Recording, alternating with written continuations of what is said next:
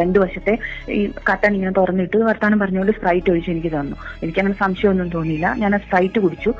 Chocolate ഉണ്ടായിരുന്നു. ഞാൻ chocolate കഴിച്ചില്ല. അത് കഴിഞ്ഞ് കഴിഞ്ഞപ്പോഴത്തേക്ക് പെട്ടെന്ന് എനിക്ക് ഒരുമാതിരി തലകറക്കോ സോപ്പ് ഒരു ഈ സോപ്പ് വെള്ളം കുടിച്ചൊരു ഫീലും ഭയങ്കര ഒരു വിറവൽ പോലെ വന്നു.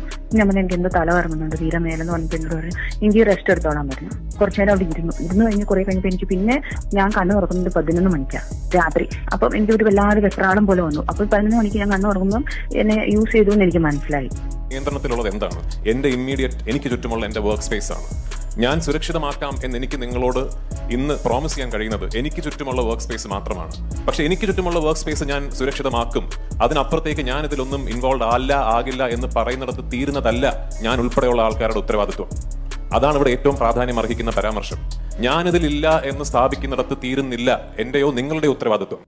പൃഥ്വിരാജ് മോഹൻലാൽ കൂട്ടുകെട്ടിലൊരുങ്ങിയ ബ്രോഡാഡി എന്ന സിനിമയുടെ സെറ്റിൽ വെച്ച് ലൈംഗിക പീഡനത്തിനിരയായി എന്ന യുവതി വെളിപ്പെടുത്തിയിരുന്നു. മൻസൂർ റഷീദ് മയക്കുമരുന്ന് നൽകി ബോധം കെടുത്തിയ ശേഷം പീഡിപ്പിച്ചു എന്നാണ് യുവതിയുടെ വെളിപ്പെടുത്തൽ.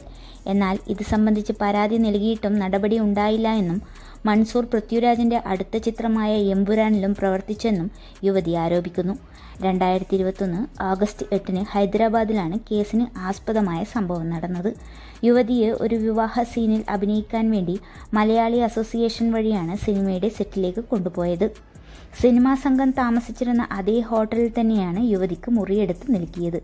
പിന്നീട് മുറിയിലെത്തിയ ഇയാൾ യുവതിക്ക് ലഹരി പാനീയം നൽകി ബലാത്സംഗത്തിന് ഇരയാക്കുകയായിരുന്നു. പിന്നീട് ഇയാൾ നഗ്ന ചിത്രം അയച്ച് ബ്ലാക്ക്മെയിൽ ചെയ്ത് പലതവണ തന്നിൽ നിന്നും പണം തട്ടിയതായും യുവതി പറയുന്നു. ഹൈദരാബാദിലെ ഗച്ചി ഗച്ചിബൌളി പോലീസ് സ്റ്റേഷനിൽ ജൂനിയർ ആർട്ടിസ്റ്റ് പരാതി നൽകിയിരുന്നു. എന്നാൽ പരാതിയുടെ അടിസ്ഥാനത്തിൽ മൻസൂറിനെതിരെ പോലീസ് ബലാത്സംഗ കുറ്റം ചുമത്തി കേസെടുക്കുകയും ചെയ്തതാണ്. ഇയാളെ പക്ഷെ പിടികൂടാനായില്ല.